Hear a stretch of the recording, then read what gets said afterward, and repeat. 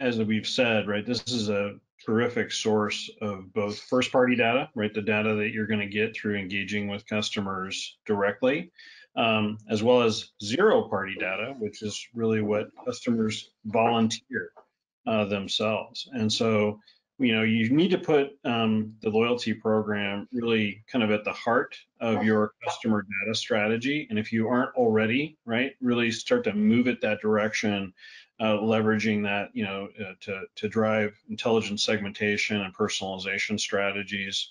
that you're going to use throughout your marketing and your experiences. But I think it's also uh, important to think about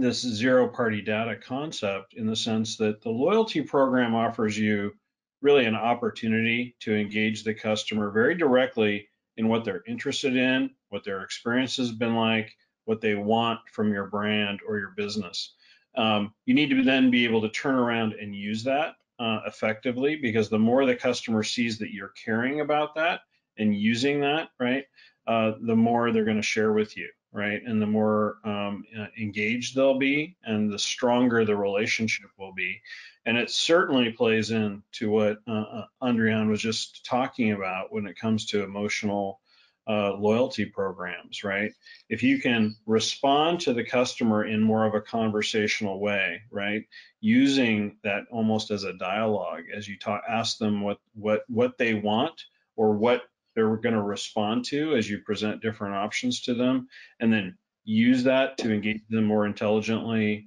moving forward. That's really the foundation of building a relationship at scale uh, through these primarily digital channels. So put loyalty at the heart of your customer data strategy and then build on that um, to even enhance your personalization and customer data and then use that right um, as you engage with customers moving forward. And i think that's a really virtuous cycle um, that you can that you can center